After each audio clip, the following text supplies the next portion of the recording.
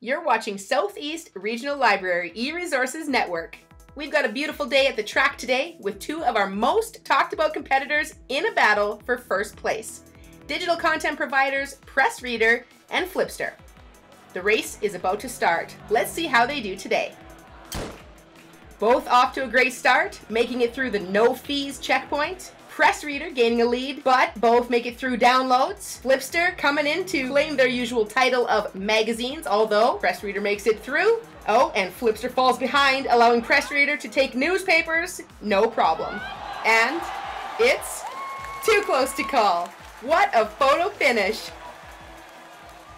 Sometimes choosing e-resources feels like a competition. As a patron of Southeast Regional Library, you can access Flipster, PressReader, and over 30 other resources for free, all with your library card. Learn more at southeastlibrary.ca.